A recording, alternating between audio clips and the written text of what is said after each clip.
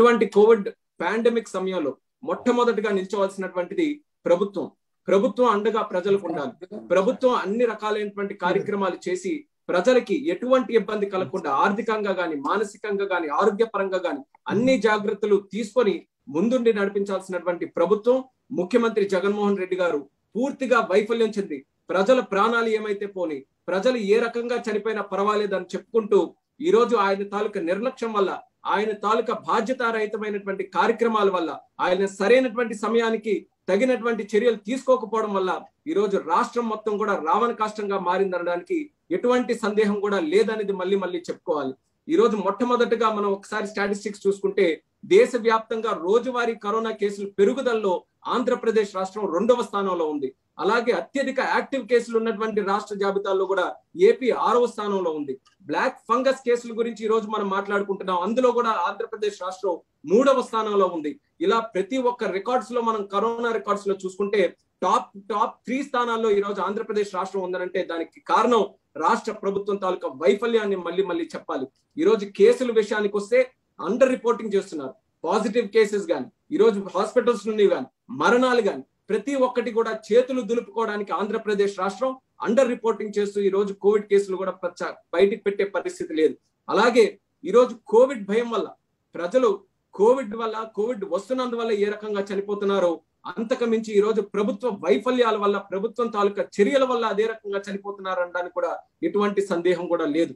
ప్రజలు ఈ రోజు హాస్పిటల్కి వెళ్ళి జబ్బుని కరోనాని నయం చేసుకోవాలని అంటే భయపడేటటువంటి పరిస్థితి ఈ రోజు ఆంధ్రప్రదేశ్ రాష్ట్ర ప్రజల్లో జగన్మోహన్ రెడ్డి గారు కల్పించారన్నటువంటి విషయాన్ని కూడా నేను తెలియజేసుకుంటున్నాను. ఇప్పటికీ కూడా చూసుకుంటే అంటే కరోనా పూర్తి స్థాయిలో రాష్ట్రాన్ని రాష్ట్ర ప్రజల్ని పేదవాళ్ళని ధ్వంసం చేసిన తర్వాత కూడా ఆక్సిజన్ గాని ఆక్సిజన్ ప్లాంట్స్ గాని ఆక్సిజన్ స్టోరేజ్ సెంటర్స్ గాని లేకపోతే బెడ్స్ గాని మరి అలాగే ఇంజెక్షన్స్ మనకు కావాల్సినటువంటి మెడిసిన్స్ గాని ఇలా అన్ని మెడికల్కి సంబంధించినటువంటి అన్ని ఇన్ఫ్రాస్ట్రక్చర్లో కూడా ఇప్పటికీ కూడా ఫెయిల్యూర్లో ఉన్నటువంటి రాష్ట్రం ఆంధ్రప్రదేశ్ రాష్ట్రం.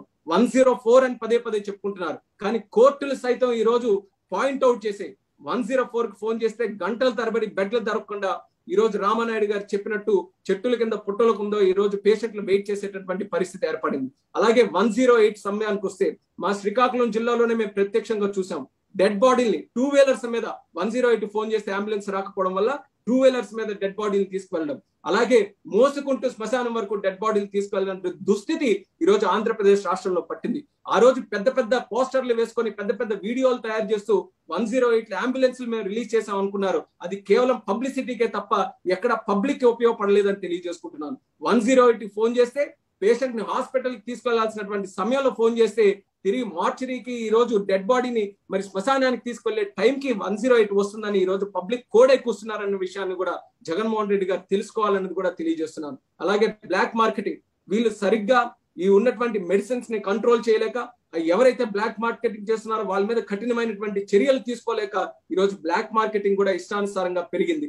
అలాగే మనం చూసుకుంటే మనకున్నటువంటి చాలా వరకు హాస్పిటల్స్ కొంతమంది హాస్పిటల్స్ దీన్ని ఒక ఆసరాగా తీసుకొని ప్రజల్ని పిప్పి పిప్పి చేసి వాళ్ళ తాలూకు ఆర్థిక స్తోమతని వాళ్ళ ఆస్తుల్ని మళ్ళీ మొత్తం కూడా కాజేసేటటువంటి విధంగా కొన్ని హాస్పిటల్స్ వ్యవహరిస్తే అటువంటి హాస్పిటల్స్ మీద అయినా సరే కఠినమైనటువంటి చర్యలు తీసుకొని ఎవరు అయితే ఆదర్శప్రాయంగా ఈ రోజు వ్యవ- వ్యవస్థను ముందుకు నడిపిస్తున్నారు డాక్టర్స్ మెడికల్ స్టాఫ్ వాళ్ళ మీద చెడ్డ పేరు వచ్చేటటువంటి విధంగా ఈ ప్రభుత్వం కూడా వ్యవహరిస్తుందనేది కూడా తెలియజేసుకుంటున్నాను.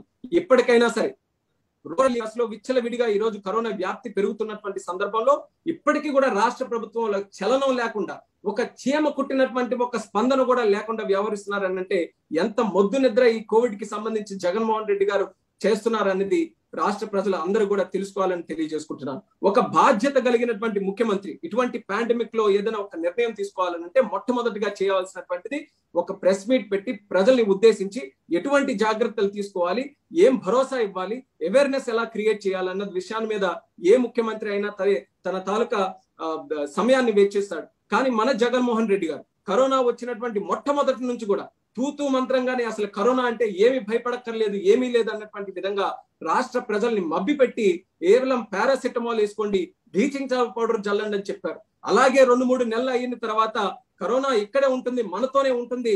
సహజీవనం చేయాలి మనమే అలవాటు చేసుకోవాలి. మనతో పాటు ముందుకు కరోనా ముందుకు నడుస్తుందని చెప్పి అటువంటి తప్పుడు మాటలు రాష్ట్ర ప్రజలకి అందించినటువంటి ముఖ్యమంత్రి జగన్మోహన్ రెడ్డి గారు. అందుకని జగన్మోహన్ రెడ్డి గారికి నేను సూటిగా చెప్తున్నా ఈ రోజు వేల మంది ఆంధ్రప్రదేశ్ రాష్ట్రంలో కరోనాతో మరణించారే. ఒక్కసారి దయచేసి మీరు వాళ్ళ ఇంట్లోకి వెళ్ళి వాళ్ళ కుటుంబ సభ్యులు ఎవరైతే మిగిలి ఉన్నారో వాళ్ళ దగ్గర కూర్చొని మీరు చెప్పండి. కరోనాతో సహజీవనం ఎలా చేయాలో ఆ మిగిలినటువంటి కుటుంబాలకి మీరు చెప్తే అప్పటికైనా మీ తాలూకు జ్ఞానానికి కాస్త బుద్ధి కలుగుతుందేమో అని జగన్మోహన్ రెడ్డి గారికి సందర్భంగా తెలియజేసుకుంటున్నాం. అలాగే బాధ్యత కలిగినటువంటి ఒక ముఖ్యమంత్రి అయితే రివ్యూ మీటింగులు పెట్టి అలాగే కేబినెట్ మీటింగులు పెట్టి డిస్ట్రిక్ట్ స్థాయిలో రాష్ట్ర స్థాయిలో మీటింగులు పెట్టి ఏ అవసరాలు ఉన్నాయని యుద్ధ ప్రాతిపదికన దానికి కావాల్సినటువంటి కార్యక్రమాలన్నీ కూడా చేయాల్సినటువంటి బాధ్యత ఒక ముఖ్యమంత్రి మీద ఉంటుంది. కానీ మన జగన్మోహన్ రెడ్డి గారు కోవిడ్ ఎంత విజృంభించినా ఎన్ని ప్రశ్నలు కోవిడ్కి సంబంధించి రాష్ట్ర ప్రభుత్వానికి ఎదురైనా సరే అవన్నీ కూడా పక్కన పెట్టి జగన్మోహన్ రెడ్డి గారు అత్యధిక అవసరం మీద తీసుకున్నటువంటి నిర్ణయాలు అచ్చెన్నాయుడు గారికి అరెస్ట్ చేయండి దూలిపల్లి నరేంద్ర గారికి అరెస్ట్ చేయండి జేసీ ప్రభాకర్ రెడ్డి గారిని అరెస్ట్ చేయండి జనార్దన్ రెడ్డి గారిని అరెస్ట్ చేయండి కొల్లు రవీంద్ర గారిని అరెస్ట్ చేయండి. ఇలా తెలుగుదేశం పార్టీ వాళ్ళు ఎవరైతే ప్రభుత్వం మీద మాట్లాడతారో వాళ్ళని అరెస్ట్ చేయండి. అవసరమైతే చంద్రబాబు నాయుడు గారి మీద కూడా కేసులు పెట్టండి. ఇది ఈ యొక్క కరోనా ఉద్యమిస్తున్నటువంటి సమయంలో రాష్ట్ర ప్రభుత్వం తీసుకున్నటువంటి అత్యవసరమైనటువంటి నిర్ణయాలు. అలాగే తీసుకున్నటువంటి నిర్ణయాలు మీ పథకాలు ఎప్పుడు పంచాలో ఏ డేట్లు పెంచాలి. ఈ రోజు రాష్ట్రం ప్రజలు ప్రాణాలు పోగొట్టుకుంటే మీ అమ్మఒడి ఎప్పుడు వస్తుందో ఇదన్నీ ఎవరు అడుగుతున్నారనేది బెడ్డలు పెంచండి లేకపోతే ఆక్సిజన్ సరఫరా పెంచండి అని అంటే దాని మీద ఒక నిర్ణయం తీసుకోరు. విశాఖపట్నంలో ఫ్లోటింగ్ రెస్టారెంట్ పెట్టాలా లేదా దానికి అప్రూవల్స్ ఇవ్వాలా లేదా ఇది మీ కేబినెట్లో మీరు చర్చించుకుంటాల్సినటువంటి విషయాలు. అలాగే ఒక బాధ్యత కలిగినటువంటి ముఖ్యమంత్రి చేయాల్సినటువంటి పని. ఫ్రంట్ లైన్ వర్కర్స్కి డాక్టర్స్కి మెడికల్ సిబ్బందికి అందరికీ పీపీఏ కిట్లు మాస్కులు అన్ని కూడా ఇవ్వాల్సినటువంటి బాధ్యత ఉంది. కానీ మన ముఖ్యమంత్రి జగన్మోహన్ రెడ్డి గారు సొంతంగానే మాస్క్ వేసుకోరు. పది మంది దగ్గరికి వెళ్ళినప్పుడు మాస్క్ వేసుకోరు. ఎవరికి చెప్పరు మాస్క్ వేసుకోమని చెప్పరు. అలాగే మాస్క్ లేవని ఒక దళిత డాక్టర్ పాయింట్అవుట్ చేసి అయ్యా ప్రభుత్వానికి మేము పనిచేస్తున్నాం మేము ఫ్రంట్ లైన్ వర్కర్స్ కింద మేము పోరాడుతున్నాం మాకు ఒక మాస్క్ ఇవ్వండి అని చెప్తే అటువంటి దళిత డాక్టర్ తాలూకా మరణానికి కారణమైనటువంటి ముఖ్యమంత్రి ఈ జగన్మోహన్ రెడ్డి గారిని ప్రశ్నిస్తున్నారు తెలియజేసుకుంటున్నాను.